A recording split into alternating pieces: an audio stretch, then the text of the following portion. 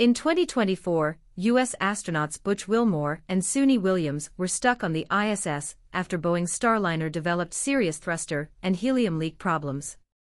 They stayed nine months there instead of eight days as scheduled originally. In 2025, China's Shenzhou 20 incident tells a different story. Hi everyone, welcome back to Difference Frames the World, a channel that offers a unique perspective on global events.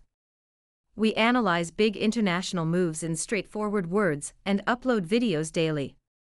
Today, Clara would like to take you on a journey through Beijing's exploration of outer space. China's space program has been quietly advancing in recent years, transitioning from single missions to full fledged station operations and planning for lunar landings as well as Mars exploration. A recent high drama incident involving the Shenzhou 20 mission highlights both China's progress and the new risks that lie ahead. On November 14, 2025, three Chinese astronauts made a successful return to Earth following a difficult decision to abandon their original return vessel. This critical choice was prompted by severe damage sustained from orbiting debris while they were completing their mission aboard the Chinese space station. Despite the challenges they faced, the astronauts showcased extraordinary resilience and skill, ultimately utilizing an alternate spacecraft to safely navigate their descent through the atmosphere and land in a designated recovery area. Their successful return marked a significant achievement for China's space program, highlighting the need for ongoing attention to the safety risks posed by space debris. Let's use this incident as a lens through which to explore the trajectory of China's human spaceflight program, its origins, its station-era ambitions, the milestones achieved so far, the unexpected hiccup with Shenzhou 20, and what's next for China in space. China's human spaceflight program, managed by the China Manned Space Agency, CMSA, began in 1992.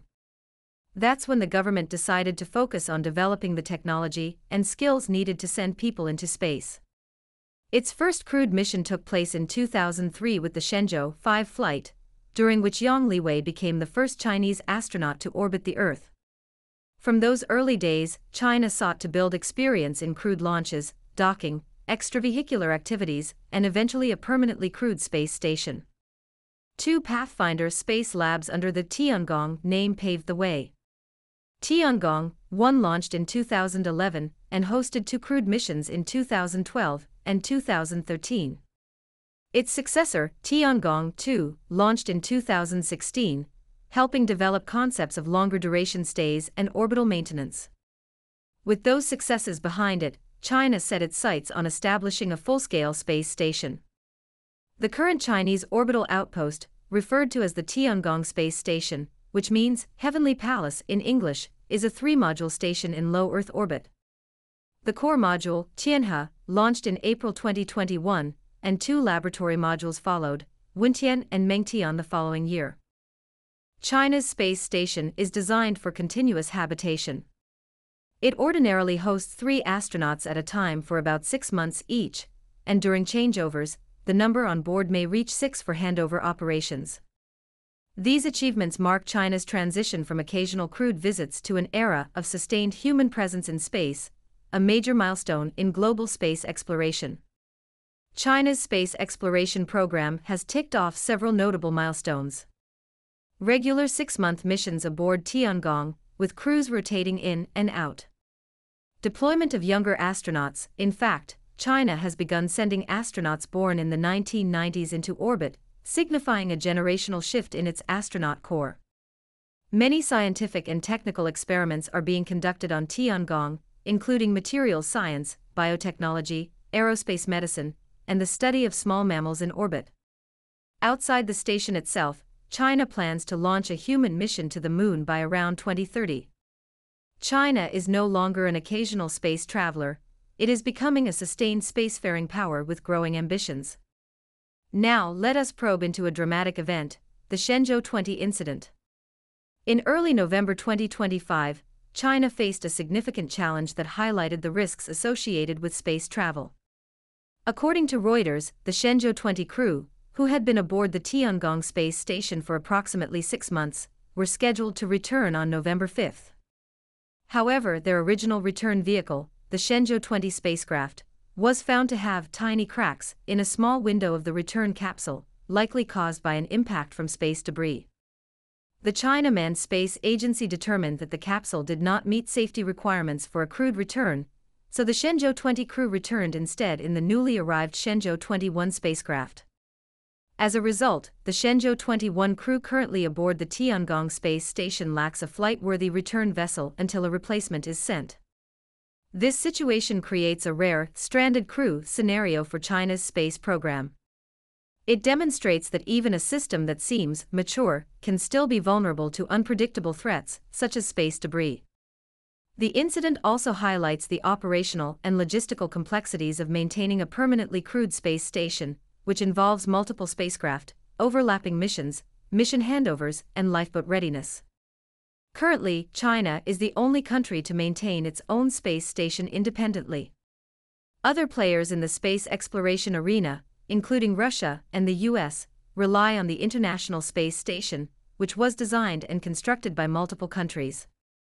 It also puts China's space program under scrutiny regarding risk management, reliability, and resilience. The focus has shifted from simply asking, can we get there, to can we return safely? In recent years, space debris has become a growing threat, and the Shenzhou 20 event demonstrated the increasing problem of orbital debris. According to Reuters, the risk of impact from small fragments in orbit is rising sharply as the number of satellites, rocket stages, and collisions in low Earth orbit continues to grow. The Tiangong station is not alone, as the International Space Station also has had to maneuver to avoid debris. The incident raises concerns about international coordination regarding debris monitoring, collision avoidance, and satellite traffic management. It also highlights whether China, the US, and other major players can enhance their cooperation. While the Shenzhou 20 crew is safe, the incident serves as a reminder of the fragility of operational procedures, even during what is considered a routine mission. China's space station program is now entering a new phase, moving from simply establishing a presence to optimizing for reliability and resilience.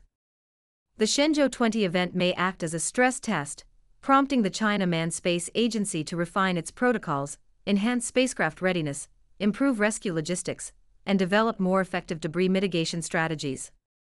China is set to host foreign astronauts, with a Pakistani astronaut scheduled to travel to the Tiangong space station next year, according to a report from Reuters. By opening Tiangong to international partners, China expresses its intention to take a broader role in human spaceflight, possibly serving as an alternative or complement to the International Space Station. After the ISS ends its operations in 2030, other countries may need to switch to China's space station for research purposes. China's Manned Space Agency, CMSA, has announced that it is able and ready to invite foreign astronauts to its Tiangong space station. China wants to collaborate with all countries committed to the peaceful use of outer space. CMSA has already initiated a selection process for foreign astronauts, which will include language and cultural training, as Chinese is the official language there. However, the political reality is complicated. A U.S. law known as the Wolf Amendment restricts NASA from engaging in direct, bilateral cooperation with the Chinese government or its space program unless explicitly approved. This legal restriction makes it significantly more difficult for the U.S. to send NASA astronauts to Tiangong, despite China's openness to the possibility of inviting Americans.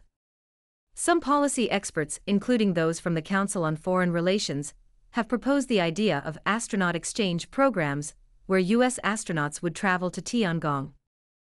At the same time, Chinese taikonauts would visit the International Space Station. However, these proposals remain speculative and would require substantial political support and legal adjustments to become a reality. Although the ISS is not solely owned by the U.S., a U.S. law prevents China from accessing it, which is a good example of America's long arm jurisdiction. We hardly believe Beijing's legislators will follow suit, prohibiting U.S. astronauts from boarding their space station. Still, it is least likely that they will beg the Americans to set foot on their heavenly palace. As China's space station operations advance, the country is increasingly focusing on lunar exploration. There is widespread discussion in Chinese state media and international commentary about the possibility of a Chinese landing on the moon by around 2030. China is the first country to land on the back of the moon and take materials back from there. If a Chinese lands on the moon five years later, it will greatly boost China's national pride, even if they are not the first to reach there in the real world. We strongly recommend that China send a Chinese lady to the moon, as their ancestors dreamed of thousands of years ago. China's gaze is far beyond the moon. Ongoing research in small mammal biology in orbit, materials science, and the effects of prolonged exposure to microgravity is contributing to China's long term goals in space exploration. These goals include plans for lunar bases, Mars precursor missions, and deep space habitats.